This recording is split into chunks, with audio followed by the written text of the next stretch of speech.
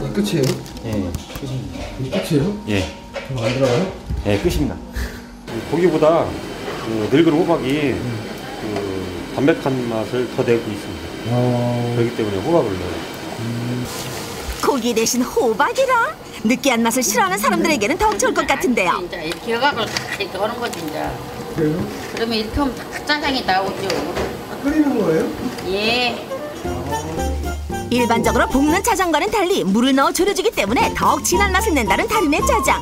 그래서 그 맛을 잊지 못한 사람들이 또다시 찾는다고 합니다. 그런데 이곳에서 발견한 특별한 풍경. 어머니 근데 간판 어디 갔어요 이게? 간판 저기 여기요. 이거요? 예. 일반 음식점 써 있는 거? 예. 간판 걸었다 그러면 손님들이 막 찾아와요. 맛을 보고 오는 것이지. 어, 맛이 간판이죠. 맛이 간판. 맛에 대한 자부심도 역시 달인이십니다. 다음을 기약했던 모자 달인을 추석을 맞아 만나봤는데요. 지금도 알콩달콩하게 중국집을 잘 운영하고 계실까요? 여기다 잘 되시고 한가위 잘 보내시고 어 부자 되시고 건강하시고 했으면 좋겠습니다. 나는 뭐라고요? 그냥 한 말씀 해주세요. 추석 명절 때 한가하게 보내세요. 고맙게. 그런가 하면 여기는 전라북도 군산. 이른 아침부터 사람들로 붐비는 곳이 있습니다. 지나가는 사람들의 발길까지 멈추게 하는 이곳의 정체는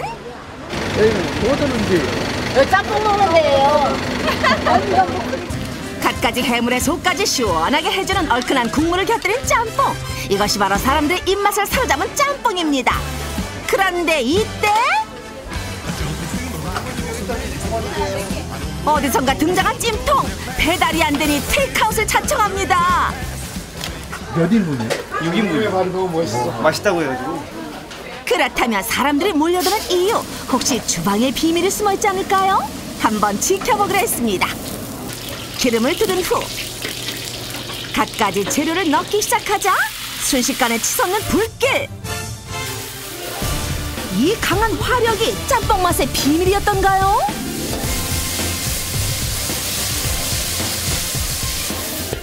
그리고 공개된 화구의 모양 여느 중국집과는 조금 달라 보이는데요. 신기하기도 하고 이건 가스로 쓰는데요. 나는 이 석유 번호를 쓰고 있습니다. 바로 이것이 짬뽕 맛의 비밀?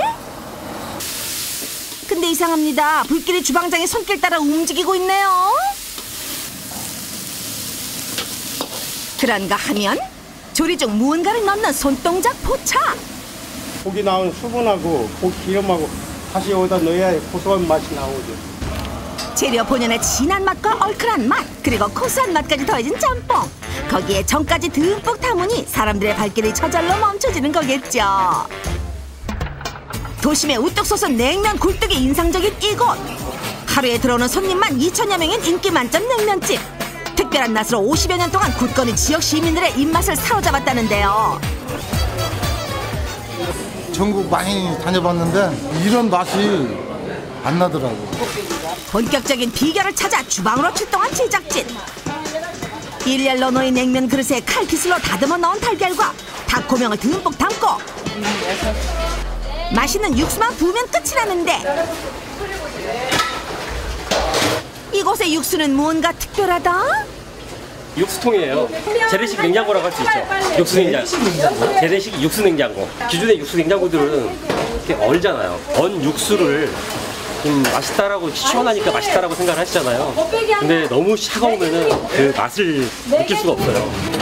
그래서 달인이 특별히 사용하는 육수통의 비밀은 고무통 안에 육수가 얼음으로 둘러싸여 있기 때문에 언제나 온도를 차갑게 유지시켜줘서 더 시원하고 쫄깃한 맛을 느낄 수가 있다는 거. 그렇다면 달인은 이렇게 신통망통한 재래식 육수 냉장고를 어떻게 사용하느냐 하면 재래식 냉장고에 그날 판매할 육수를 옮기는 건 기본. 향이 날아가지 않도록 비닐로 잘 막아둔 후 찬물을 채워 식히면 공기의 순환으로 인해 열이 밑으로 내려가서 자연스럽게 딱 먹기 좋은 영상 2도로 맞춰지는데요. 여기에다가 얼음만 채워주면 모든 준비 완료.